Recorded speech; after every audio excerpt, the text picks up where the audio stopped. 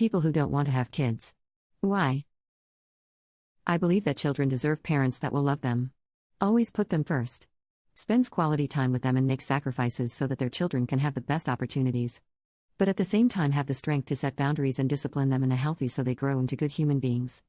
I don't currently have a partner or much financial stability in my life at this stage, and I don't want to be a single parent or bring a child into the world if I'm not in a position to provide for them. Plus, it's scary enough worrying about my own future. Let alone the future of miniature humans I am responsible for bringing into the world. Rather give it a miss. And I don't trust myself to be unselfish enough to be everything that I believe a child deserves. I sometimes catch myself thinking that children might be nice. But until I'm sure of myself, financially stable and in a steady relationship, a child is unlikely to be in the picture. I keep telling my mom that I want to be financially and mentally ready for kids before even planning. And she thinks I am selfish. But I won't think about it because I don't want to be a horrible parent.